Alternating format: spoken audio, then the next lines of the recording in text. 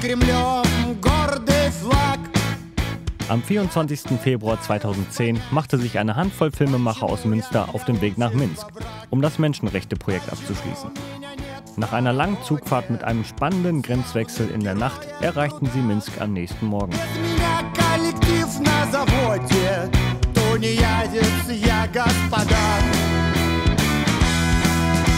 Без меня коллектив на заводе, тунеядец я, господа. Социальная защищенность, пенсионный фонд. Я ложил на вас свой огромный... In Minsk angekommen, verteilten sich die Filmemacher auf ihre Gruppen. Insgesamt vier Filme sollten zum Abschluss des Projektes entstehen.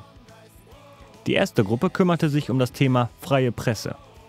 Die zweite Gruppe behandelte die Inklusion von behinderten Menschen in der weißrussischen Gesellschaft.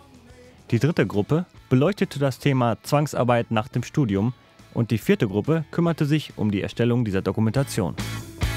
Куранты пробили пять Над Кремлем гордый флаг Я пытаюсь понять Почему я для общества враг Почему меня нет в хороводе Славных героев труда Без меня Nach Fertigstellung der Konzeption konnte schließlich gedreht werden.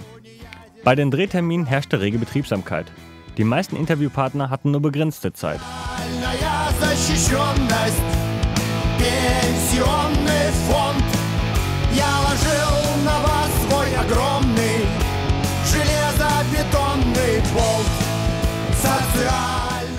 Zwar wurde es gegen Ende noch einmal stressig, aber die Filme konnten rechtzeitig abgeschlossen werden.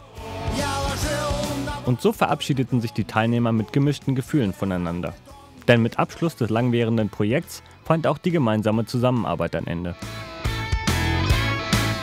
медицинских учреждениях